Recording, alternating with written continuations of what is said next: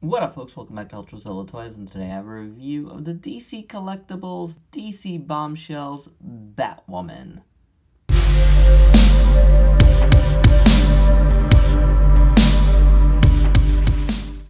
Alright, it's been a little while since I did a DC Collectibles figure, and uh, for me, this is a really good one to do. L really love Batwoman. Uh, I wanted to check out this line, the DC Bombshells line. Was never into the statues so much. This is all, you know, this is based on designs by Ant Lucia.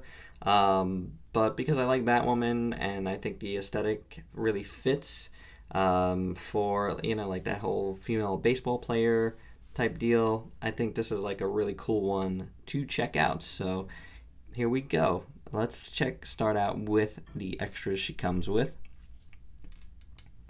She has some uh, hands, extra hands. She has fist hands on right now. So as you can see, there's a couple of like open hands here and a couple of uh, holding hands. Um, which is pretty cool. They're all like gloved red. Very nice. Shiny. Then she comes with a, a baseball bat that says Batwoman on there. Looks really nice actually. Really good painting on there to make it feel like a bat. The handle is really sculpted well. Really well done. So, um, grab one of those hands.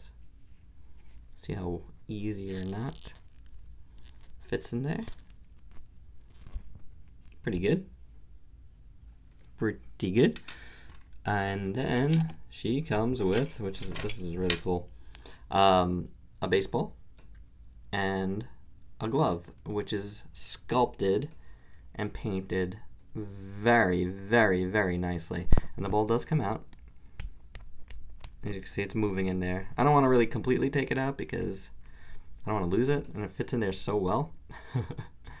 but it's pretty awesome. And to do it, everything is flying here. Oh, and I got some oh, little paint chipping, probably from the inside of the uh, the hand. Sometimes that happens with these types of pegs. So yeah, oh yeah, that's exactly what happened. So you can see, paint chipping off. But there you go, that's what it looks like in hand. Pretty awesome. And let's see this one. See more more paint coming out. That glossy red really like oof comes right out. But it's on a peg, so that's pretty awesome. I'm probably gonna display her like so. Um, I think that looks really good. And the figure does look really nice. Again, it's that classic uh, female baseball player aesthetic, and I think that looks really good. Obviously, makes sense for Batwoman. Uh, hat looks really good. Uh, I like the ears. The the red bat on there is nice. Sculpted well. The hair is sculpted really well. Nice wash on the hair. That's done well. And then her her face looks really good. Lips are a nice dark crimson red. Eyes really pop with that green. There is like a like a black shading around her eyes. Kind of signifies like a little mask. It's kind of odd, um, but it doesn't hurt.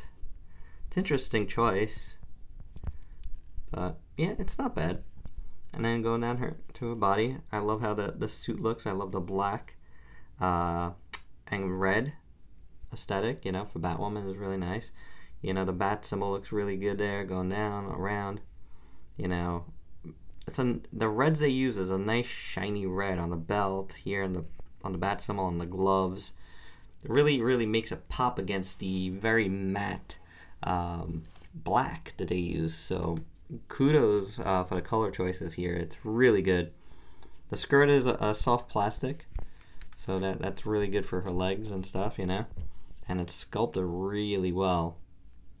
I like the way they made, uh, you know, the faux fabric uh, flow.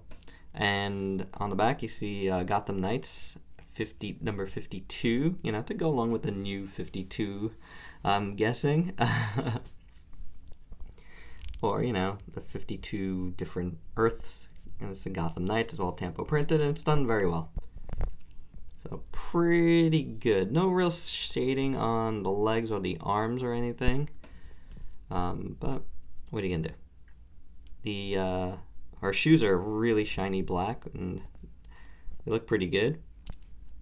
And then this is like the opposite of what you get up here, and you get a matte red for her socks, but you do have the black stripes on there. So that looks really nice.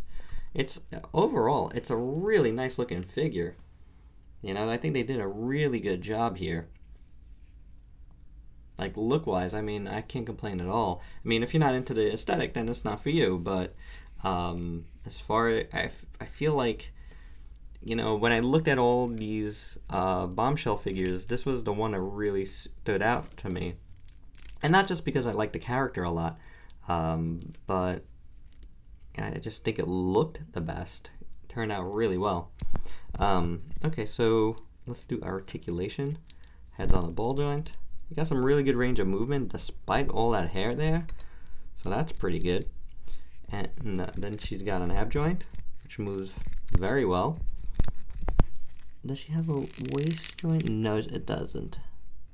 It's definitely glued in there. So you just get the ab joint. But, you know, that's enough, I think. And you got hinge swivel combo at the shoulders. You got bicep rotation, which is smartly done right at the cut of her shirt, which is pretty perfect. There's a, a stray red there. That's a little bit of bummer, but it's not that bad. A little, a little bit over there too. Got a double jointed elbow, which is amazing. And then the hinge swivel here for the wrist. Though I think the hinge is kind of it's kind of painted on unfortunately. Yeah the paint got into the the hinges as you can see.